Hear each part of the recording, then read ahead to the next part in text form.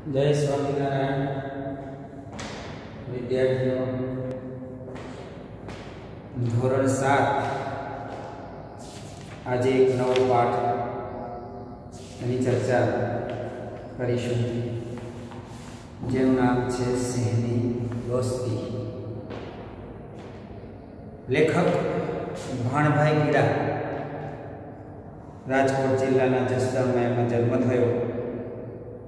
અને Gujarat state transport કોર્પોરેશનમાં સેવા આપી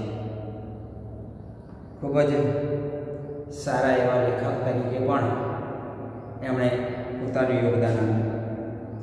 સૌરાષ્ટ્રના વિસ્તારની કેટલીક વાતો બનાવો અને વાર્તા સ્વરૂપે રૂપાંતર કર્યા. જેમાં નમણી ગીર અને સોરઠનો શણગાર, એ લેખ અરે લેખમાળાઓ તરીકે એમણે પ્રગટ કરી છે. આજે પાઠ છે એ સત્ય ઘટના આધારિત બનાવેલો છે.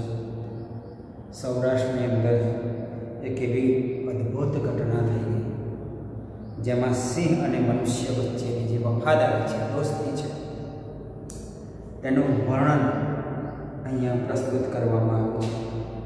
સુંદર મજાનું સૌરાષ્ટ્રની લહેકાવાળી ભાષા એની બોલી અને એ વખતના લોકોનો વ્યવહાર, વર્તન, પશુઓ પ્રત્યેનો પ્રેમ, જો કે હજુ પણ સિંહ એ ગીરનો એક શણગાર છે અને લોકો ગીરના જંગલોમાં રહેતા લોકો સિંહની સાથે જ રહેતા હોય છે.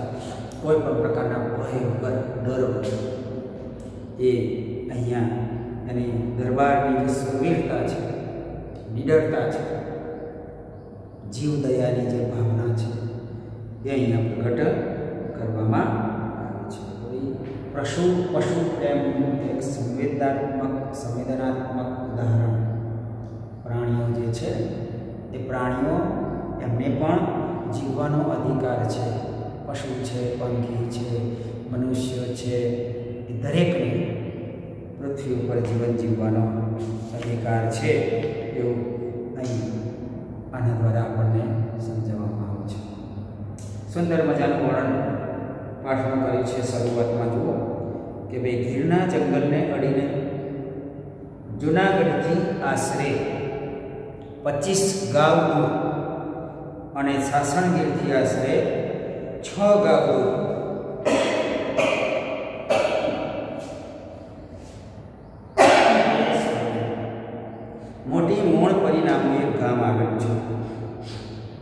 ગામના પાદરમાંથી મોટી નદી વહી જાય છે. નદીને કાંઠે બબ્બે માથાડા ઊંચી ખડો છે.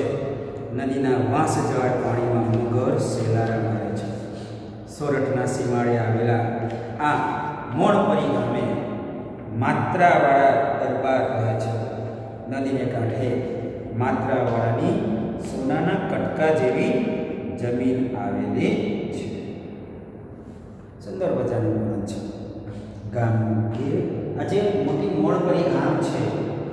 એ જુનાગઢથી પચીસેક ગામ અને ગીરના જંગલને અડીને આવેલું છે સાસણ ગીર જે વિસ્તાર છે. ત્યાં આવેલું ગામ. વર્ણન છે કે પાદર પાસેથી સરસ મજાની મોટી નદી વહે છે. નદીના કિનારે બે ખડો આવેલા છે. એ નદીનો જે ધૂનો છે, એમાં વાંસ ઝાડ પાણી, એટલે વાંસ ઝાડ પાણી એટલે વાંસ ઉગી જાય એટલા પાણીમાં મગર શેલારા મારે છે. શેલારા એટલે પાણીની અંદર મગર પોતાના શરીરને ધક્કા મારતા મારતા તરતા હોય એવું વર્ણન અહીંયા કરેલું છે. અને આ નદીના કિનારે દરબાર માત્રાવાળા જે છે, ગામના દરબાર, એમની સોનાના કટકા જેવી જમીન આવેલી છે. સોનાના કટકા જેવી સમૃદ્ધ ફળદ્રુપ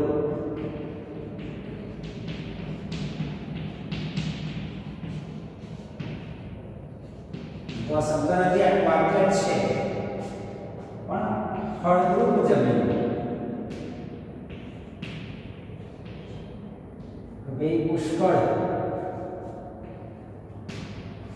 અનાજ ઉત્પન્ન કરી શકે તેવી ખેતીવાડીમાં ખૂબ જ સારું ઉત્પાદન લાવે એવી આ જમીન અહીંયા આવેલી છે. દરબાર માત્રાવાળા મોટી મોણપરી ગામ સૌરાષ્ટ્રમાં આવેલું છે. ત્યારે કોઈ સૌરાષ્ટ્રમાં જવાનું થાય જવાનું થાય, તો એ સ્થળ પણ આવેલું છે. એટલે એનું આખું વર્ણન અહીંયા કરેલું છે. પાદર શબ્દ છે, એટલે પાદર વિભાગો. હવે આગળ લેખક કહે છે કે ચોમાસું પૂરું થઈ, થયું છે. જોઈને આખરે આંખો ઠરે તેવો મોલ ખેતરમાં ઉભેલો છે. લોકો લણણીના કામે લાગ્યા છે. આવા એક દિવસે નમતા બપોરે દરબાર માત્રાવાળા ખાટલો ઢાળીને ખેતરમાં બેઠા છે. કુદરતે છૂટે હાથે વેરેલી સુંદરતાને દરબાર આંખો ભરીને પી રહ્યા છે. એકાએક દરબારની નજર નદીના ઘણા પર પડી.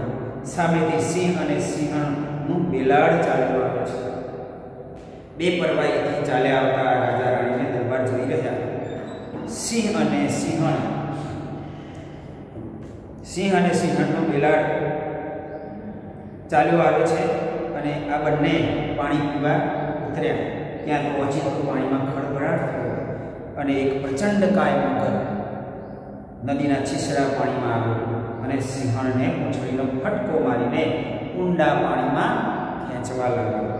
સિંહણે કાળના પંજામાંથી પોતાની જાતને છોડાવવા માટે ભારે ભલામણ કરી, પણ એની કાળી ભાગી મગર સિંહણને પાણીમાં ખેંચી ગયો.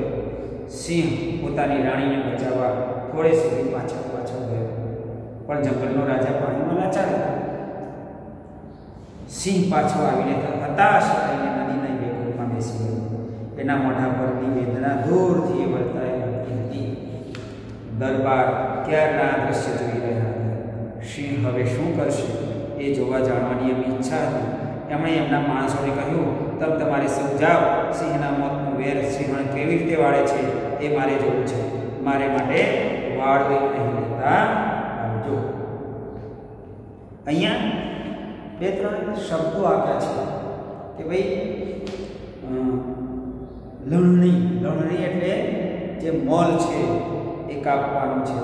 દરબાર જે છે, દરબાર માત્રાવાળા પોતાના ઢોલિયામાં ખાટલામાં બેઠા છે અને ખેતરમાં જે સુંદર મજાનો પાક ઉગ્યો છે મજૂરો કામ કરી રહ્યા છે, બધી સુંદરતા પી રહ્યા છે. આંખો ભરીને પીવું.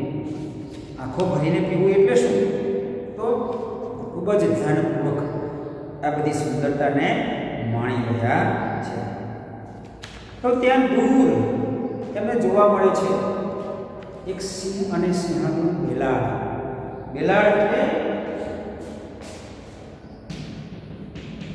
એટલે જોડું. જોડું એટલે બૂટ ચપ્પલ નહીં, પણ જોડ, જે બંનેની કપલ કહીએ છીએ ને આપણે, જેમ સ્ત્રી અને પુરુષ હોય, યુવાન તો એને કપલ કહેવાય બંને નર અને માદા એકસાથે નદીના ગુના પર આવે છે. ગુનો. એટલે ગુનો એટલે ઊંડા પાણી. ઊંડું પાણી? જે ઊંડા પાણીની જગ્યા હોય. ઊંડા પાણીવાળી જગ્યા ઊંડાવાળા પાણી બાજુ લોકો આવે છે પાણી પીવા માટે. જ્યારે સિંહ અને સિંહણ બે પરવાઈ કોઈની કશી પડી નથી નીડર છે. ગમે ત્યાં જઈ શકે. એ ચાલે આવે છે ત્યારે પાણી અંદર ઉતરે છે ને અંદરથી પ્રચંડ કાય મગર પ્રચંડ કાય. મહાકાય. વિકરાળ સિંહ અને સિંહ બંને આવે છે. અને પેલો મગર સિંહણને ખેંચી જાય છે. સિંહ પોતાની રાણીને બચાવવાના અનેક પ્રયત્નો કરે છે. પરંતુ એની કાળી ફાવતી નથી. કાળી ન ફાવવી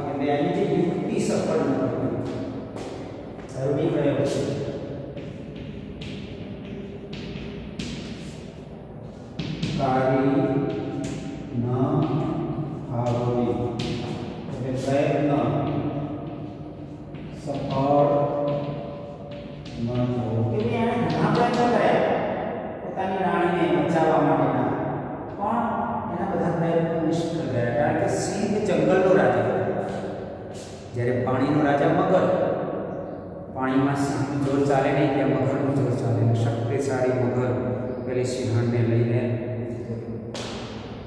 પોતાની સિંહણને ગયા પછી હતાશ થયેલો સિંહ નદીની વેકુળમાં બેસી ગયો.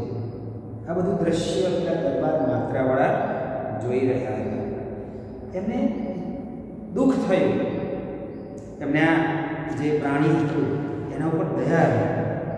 સિંહ હવે શું કરશે જોવાની એમની ઈચ્છા હતી. એટલે એમણે પોતાના માણસો કહ્યું, તમે જતા રહો, મારા માટે વાળું પણ અહીં લેતા આવજો. વાળું એટલે? સાંજનું ભોજન. એની સાંજનું જમવાનું મારા માટે અહીં અને સિંહ શું કરે છે? મારે જોવું છે.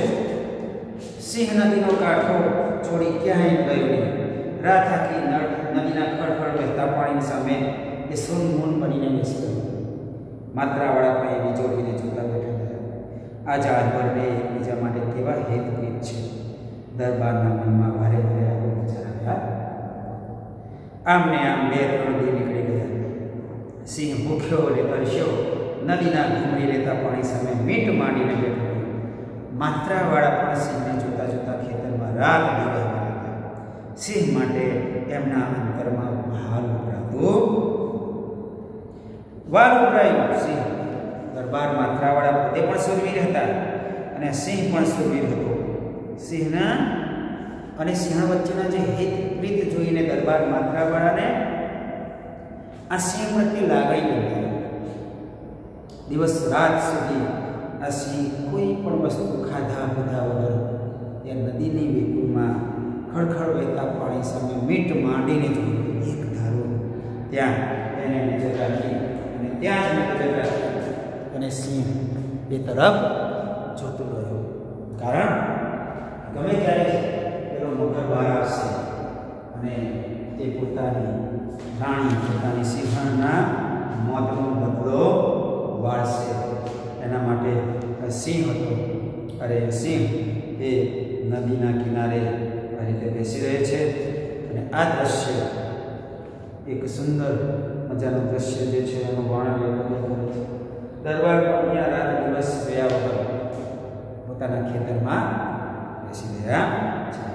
હવે પછી આગળ સિંહ શું કરે છે તેની વર્ણન હવે પછીના આપણે લેક્ચરમાં વાત કરીશું. એ સુધી રાખવી પાઠ વાંચવો અને આગળ શબ્દો તૈયાર કરવાના. જય સ્વામિનારાયણ.